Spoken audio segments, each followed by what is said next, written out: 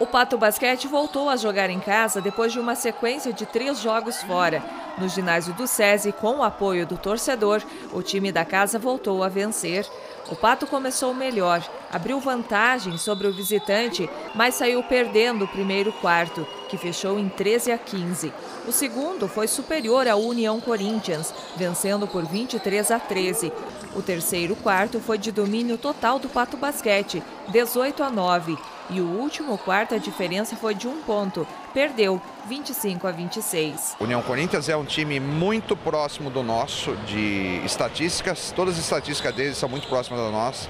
Eles também têm feito bons jogos, jogos duros com times da ponta ganhando jogos, perdendo jogos também, então a gente sabia que seria duro.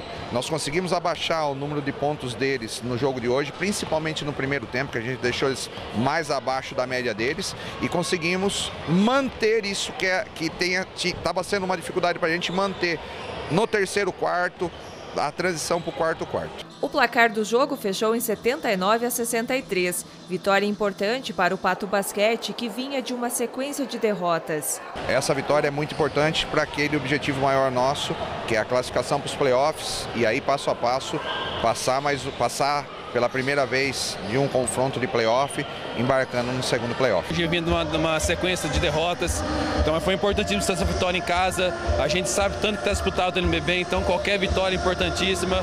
Hoje o time está de parabéns, principalmente pela defesa que fez.